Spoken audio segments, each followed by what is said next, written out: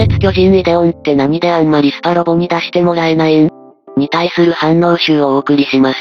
なんで参戦作品少ないん？強すぎるから。2話くらいでイデオンが出てくるパターンとか遊んでみたいがろくなことにならなそう。たまには単発作品で参戦してほしい。ガンバスターと一緒で宇宙メインのシナリオじゃないと釣り合う相手いないし、終盤から怒涛のバッククラン軍祭り。敵の数が多すぎるからスパロボじゃなくイデオン無双みたいな独自ゲームのが作りやすそう。ゲームの爽快感に対して全然爽快じゃない陰鬱なストーリー。バッフクランって間違いなくバルマーより強敵に描かれてたよね。バルマーって無印アルファでもユーゼスがラオデキアは宇宙怪獣を舐めすぎてるって扱いだったけどバッフクランやゼントラーディよりしょぼくなっちゃったのがな。バッフクランの規模ってほんと頭おかしいんよ。終盤でワープできるソロシップが逃げ切れなかったのって銀河中に同じ密度で艦隊を敷いてたからだし。確か2万光年ワープしたのに半径350万光年へに同規模の艦隊夫人敷いてたとか劇中で出した規模だけなら宇宙怪獣よりやばい。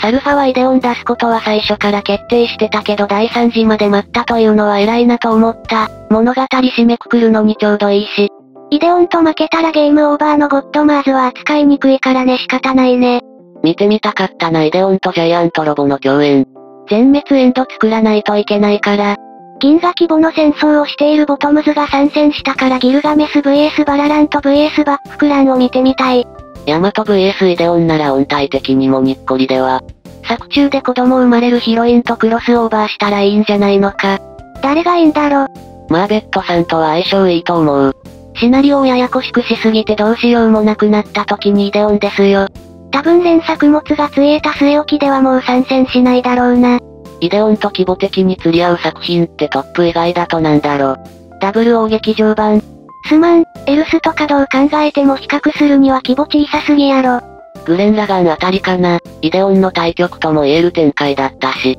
サルファ以上の扱いはもう無理かなと思ってる。イデオンの場合よくある原作終了後の状態で参戦とかも不可能だもんな。ただの強い兵器としてのいるだけ参戦とか意味不明な存在になってしまうし。敵も銀河規模じゃないといけないからどうしても他の参戦作品も合わせないといけないし作品としての規模もでかくなるしかないしで、まあたまには見たい。敵の規模はまだなんとかなるが舞台が地球ですらないスケールのでかさは難しい。発動編の終盤はもう気が休まらない極限状態がひどい。イデオンとソロシップだけで無尽蔵に敗戦間違いない戦闘を続く休みなくずっと続けさせられてるし。イデの力で死なないようにされてるだけで小惑星軍消滅規模の攻撃を仕掛けてもいくらでも敵は湧いてくるという絶望感。バフクラン側もイデオンとソロシップを機能不全にしないとこっちが絶滅させられるから必死だしね。サルファ初 PV でイデオンが出てきた時の興奮度、実際本編の内容よりよくできた PV だった。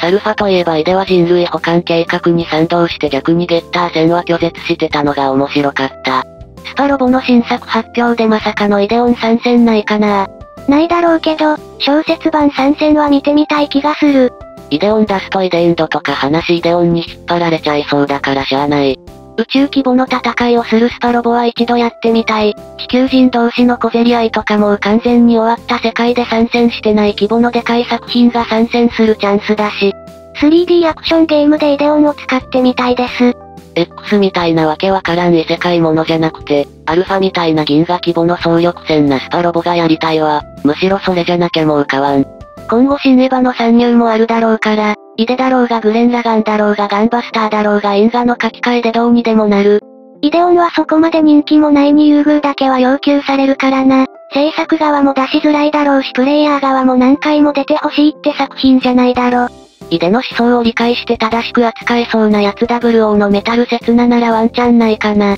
逆に言えばそのレベルで悟り開いたようなキャラでもなけりゃ扱えない代物ってことになるけど、イデオンの世界を再構成したのがガンダムダンバインエルガイムの世界という設定があるから扱いにくいのかもね。イデオン出すと敵のバランスがめちゃくちゃになるんよ。機械獣やモビルスーツじゃいじめにしかならんからね。ダサい機体、癖の強い登場人物、撃墜するとゲームオーバー、いまいち魅力の薄い敵側、戦闘規模の過剰なインフレ、スパロボ素材としては使いにくいこと、この上ないと思う。F 完結編ですら登場は完結編の中盤からで最終話ではどっかに行ってしまう。イデオンに熱狂している層もいる一方で嫌っている層も多いと思う。話のスケールがガチででかいからな。どうやっても話が宇宙規模で戦力もそれに見合ってるせいで、地球で小競り合いしてる連中と話し合わせづらい。井出が発動した時に全キャラの裸を描かないといけないから出動は無理です。